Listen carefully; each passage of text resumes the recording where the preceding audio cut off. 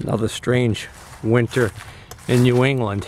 Yesterday, it uh, hit 50, 50 degrees.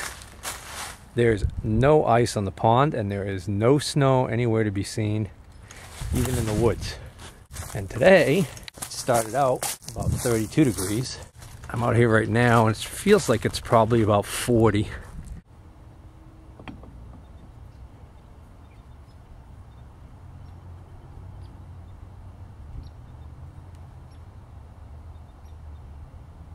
Should have brought a pipe wrench with me to grab that. And some Earl. Well, brought some really big channel locks and some PB Blaster. Figure PB Blaster, since it's rust that's in there, that seems to be the culprit. What the biggest issue is with the threads. I mean, it just doesn't seem to. Oh, oh it's, it's going. This actually is working. Not bad for a noob. All right. So now that I know this is going to fit, I don't have enough time to lift this motor off today. And because bad weather's coming for tomorrow, I'm to button this up. I'm to throw the tarps on it, tarp this puppy. I'm going to take this back to the shop. And I'm going to finish making this tool so that I can put a lifting ring right on this. All right, so here's my plan. I'm going to uh, cut a flat on this side and then a flat on this side. So the two opposing sides, I'm, sides I'm going to flatten it out and I'm going to make this thin enough so that I can actually fit it in between here. And uh, then I'm going to drill a hole for this bolt to go through so that this will actually go in here and then the bolt will go through and then I'll have a nice hook to hook onto. Also, if all goes well, I'll be able to uh, end up with this being a thickness, um, a standard thickness that I'll be able to just put a wrench on it and use a wrench to turn it. But I think before I do anything, I'm going to uh, face this end here because that's just the saw cut on this end. It's never been faced.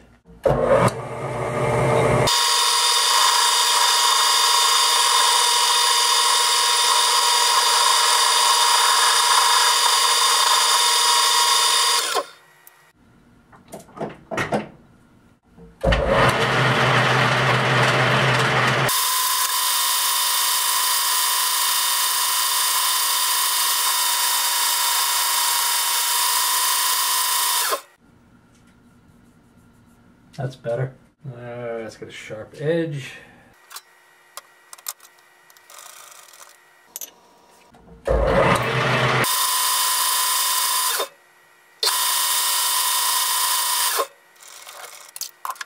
Okay, so I decided I'm going to use uh, an inch and a sixteenth, one and one sixteenth inch wrench.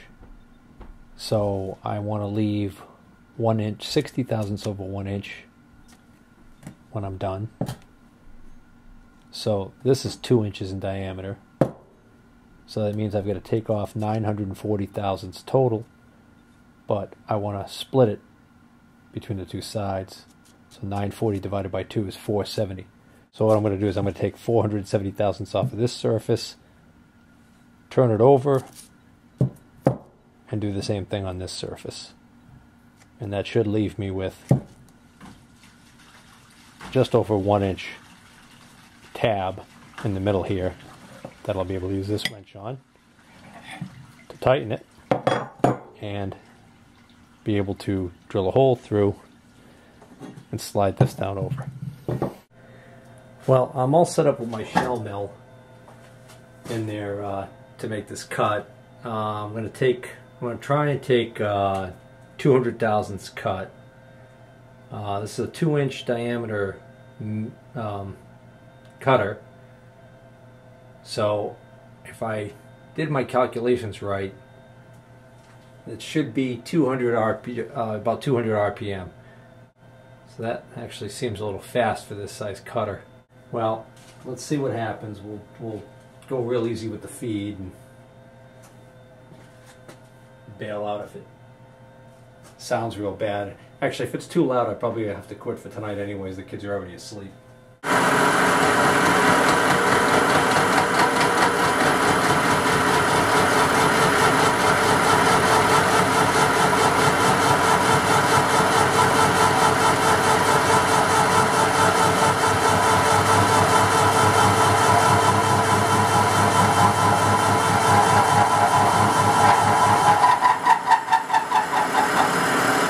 If I get some oil on there.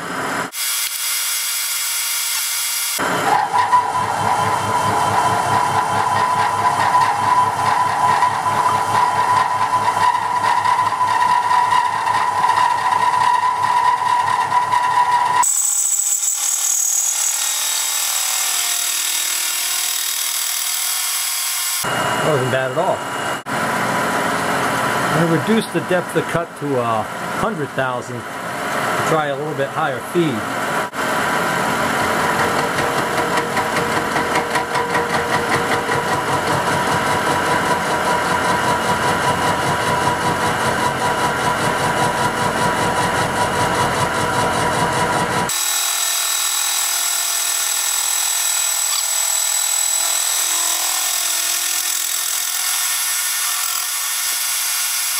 It's going 400,000.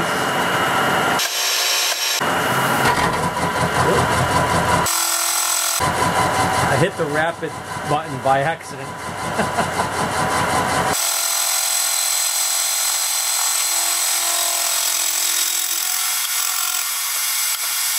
I'm going to take 50.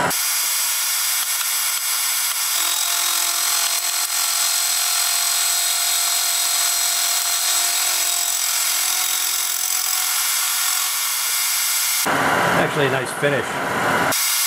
So I'm just going to keep the feed and speed the same and take the last 20,000 finish cut.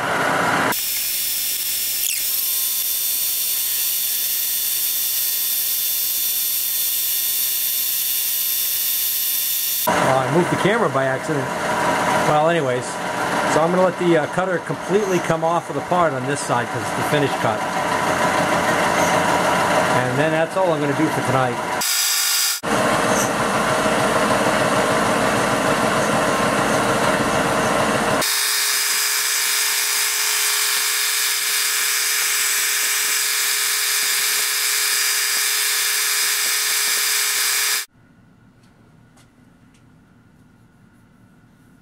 Nice and smooth. That shell mill did a darn good job. Alright, so now I got to set up to cut the other side of this thing. And when I first cut this side, it didn't really matter which way I put it in. But now that I have one side cut and I want the other side parallel to it, I've got to make sure that I put it in so this is parallel. And I thought about, well, there's a number of ways I could probably handle that, but then it occurred to me, why not just rest this up like this on this shelf of the uh, of the jaw. Okay.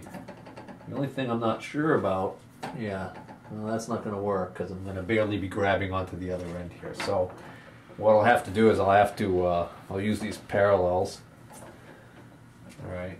So first, let me get all these chips out of here. All right. So I think these are going to be a little too tall. Yeah. Um, shorter ones. Uh, all right, just use a one, two, three block. I didn't want that way. I want this way. There we go. No, the one, two, three block's not going to work because it's not going to let me close the jaws down far enough to get on there. I'll use these instead.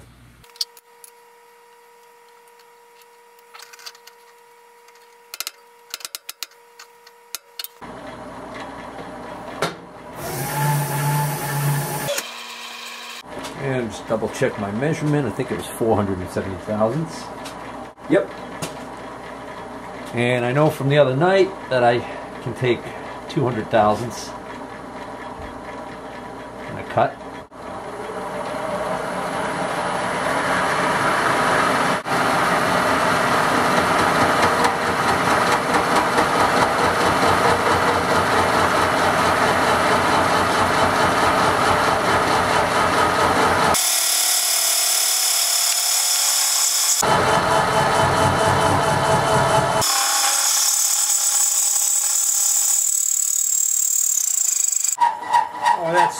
Coming from all of a sudden?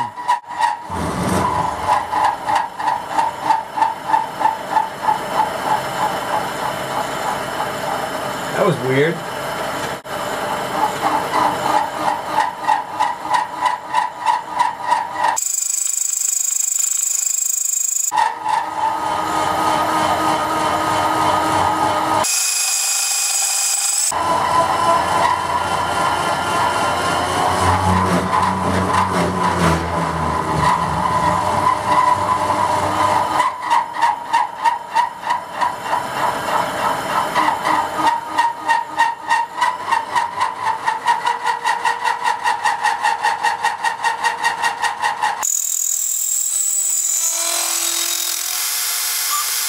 Taking the heavier cut actually made it quiet down. And it's weird because the squeaking was almost like the cutter was rubbing, but it sounded like the squeaking noise was coming out of the top, the top of the machine, which is weird.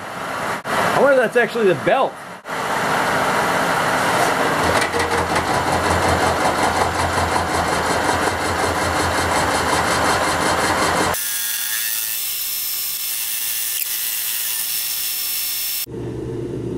Truth of the matter is, the position of this uh, hole that I'm going to drill is not so critical that I couldn't have just scribed uh, a line from that corner right there to this corner, this corner to this corner, and where the two lines cross, use that as my center point, and that would be pretty much in the center of this square right here that's milled out.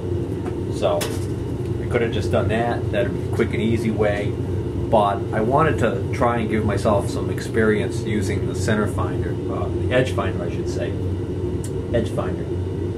So I've got this edge finder here. It's got a little bit of a step to it, and so that pin is 200 thousandths uh, on the dot. Makes the math easy because when you come up to the edge, you're going to be hitting this outer edge, so you can accommodate for half the diameter of the uh, the pin there, which half of 200 thousandths is 100 thousandths even. I've got the quill all the way down to where it hits the stop. The reason why I want this at the same exact height when I touch off on the other side is because of the fact that there's actually a uh, there's a curve to this side here. This isn't this isn't a 90 degree edge right here. So I'm actually hitting a little bit below this, but as long as I'm hitting the same plane as on this side as I am on this side, it should still end up being halfway. That's also assuming that this is perfectly level, which it is. I've got it down on some thin parallels in the vise. This surface should be pretty parallel to the other surface, relatively speaking. Um, so I could do that, touch off here, zero my dial, raise the quill, bring the uh, table all the way over to the other side uh, so that the uh, center finder, uh, the edge finders on this side, and then come back and touch off here.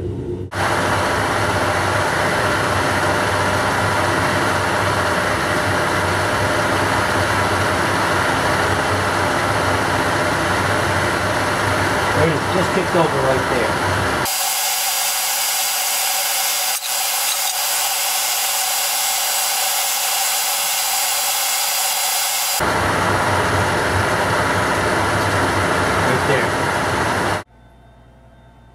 Right, so right there appears to be that edge. And I'm 160 thousandths over one inch. So 1.160. So if I take half of that, that'll be uh, 580. Okay, and then I've got to take half of the um, half of the diameter of that center finder. So that'll be 580 plus 100 will be 680. Where am I subtracting? Let's see. If I'm, if I'm to come, I'm to start from this edge again, and then I'm going to come over 580, and then yeah, half of the diameter will give me the middle. So 680 thousandths from this edge. let's try that. I can still see that's off. Why am I having such a hard time with this? I bet you it has to do with something. I'm, I'm probably not taking into account the fact that I've got a I think I got to add a hundred thousand to compensate for what, what I'm doing on this end, and then it cancels out this hundred thousand that I got to do on this end. I bet you that's what it is. 480 looks shy, and 680 was too far over. I bet you 580, which is half of my 1.160, is going to be right on. Let me do 580 try that. 580. Oh hell. I pride myself on being able to understand spatial relationships and I'm uh, just completely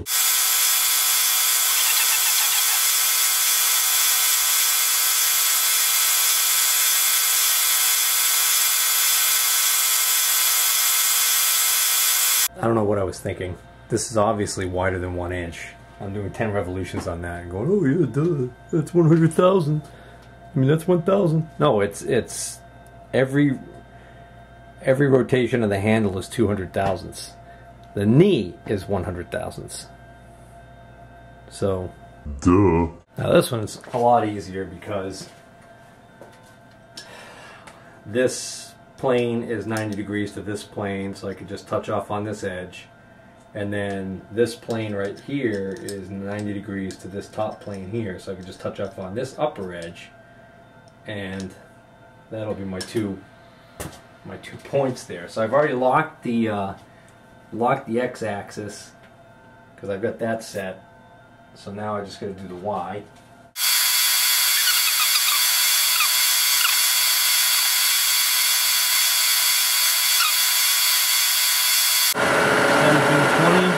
Now because I'm touching off with the leading edge here and then also the leading edge here, both sides of the uh, edge finder are touching the edges.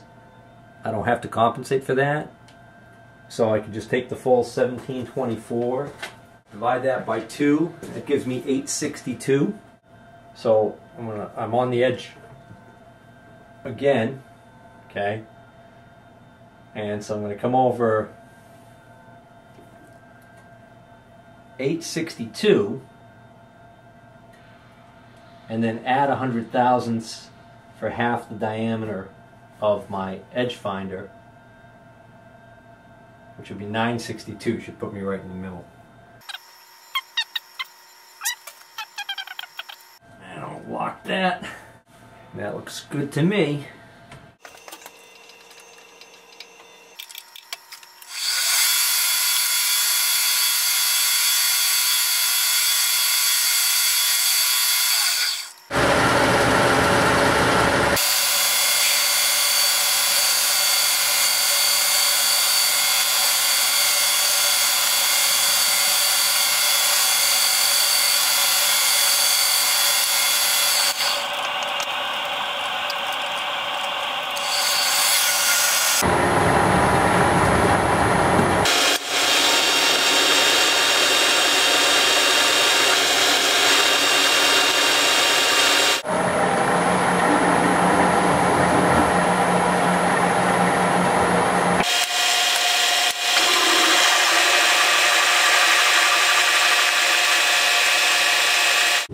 the memory card's filling up, but uh, I was drilling with that last drill and something gave way inside the head on the mill and I just lost the uh, low end drive. I was working a good in high range, so I'm just going to use the high range, countersink both ends a little bit to chamfer it and uh, it'll be